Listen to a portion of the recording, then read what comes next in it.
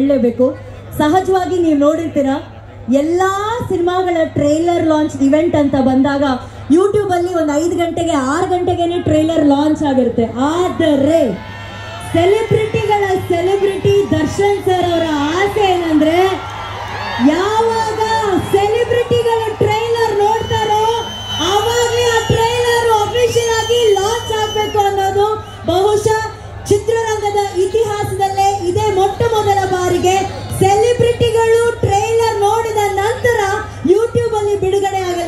So ಇವತ್ತು ಧೀರ ನಿರ್ಮಾಪಕರಾದಂತಹ ರಾಕ್ಲೈನ್ ವೆಂಕಟೇಶ್ ಸರ್ ನಿರ್ಮಾಣದ ತರುಣ್ ಸುಧೀರ್ ಅವರ ನಿರ್ದೇಶನದ ಹರಿಕೃಷ್ಣ ಸರ್ ಅವರ ಸಂಗೀತ ಇರುವಂತಹ ನಮ್ಮೆಲ್ಲರ ಪ್ರೀತಿಯ D Boss challenging star Darshan sir, Aradhana, ಅಭಿನಯದ ಕಾಟೇರಾಜ್ ಚಿತ್ರದ ಟ್ರೈಲರ್ ಈಗ ಎಲ್ಲ ಸೆಲೆಬ್ರಿಟಿಗಳ ಸಮ್ಮುಖದಲ್ಲಿ ನಡೆಯಲಿದೆ.